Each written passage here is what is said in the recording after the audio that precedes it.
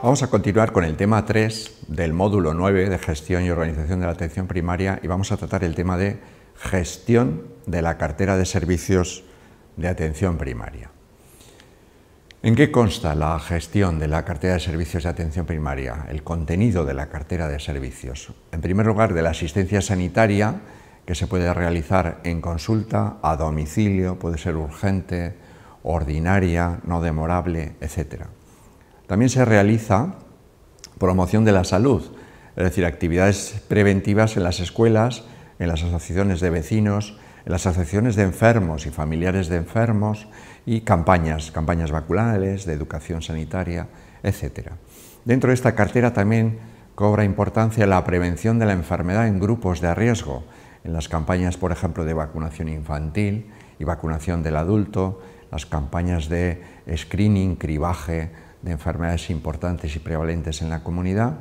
También está aspectos relacionados con la rehabilitación y la reinserción social de enfermos con patología crónica avanzada y también dentro de esta cartera de servicios, ya en la parte no asistencial, están la formación, la docencia, la calidad, la investigación y las tareas de organización y gestión.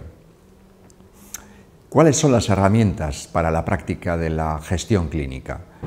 Pues tenemos aquí ocho, pero hay más. Las ocho principales son las guías de práctica clínica, la metodología de medicina basada en evidencia, en pruebas, la gestión de las personas, la gestión de los procesos asistenciales integrados entre primaria y especializada, la gestión de la calidad y todos los aspectos de la calidad, la gestión de las bajas laborales y de la farmacia, que suponen un componente económico importante, la coordinación entre primaria, atención primaria y atención especializada, y sobre todo la coordinación intersectorial y con la comunidad.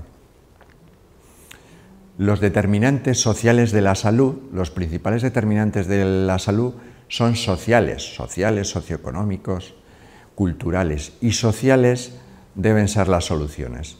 La atención comunitaria es tener en cuenta los contextos, las relaciones, los actores y los recursos. La atención individual, familiar y comunitaria son elementos de la misma realidad, son elementos inseparables. De ahí que la atención integral a los pacientes eh, debe ser con un enfoque biopsicosocial porque da la importancia que tiene el entorno socioeconómico y cultural y nos permite sobre todo contextualizar, es decir, atender a los contextos. Y esto de atender a los contextos mejora sobre todo la efectividad de todas las actividades asistenciales, preventivas, de promoción de la salud, en, el fondo, todas las actividades y actuaciones médicas, atendiendo al contexto, se verán eh, más mejoradas en toda su eh, amplitud.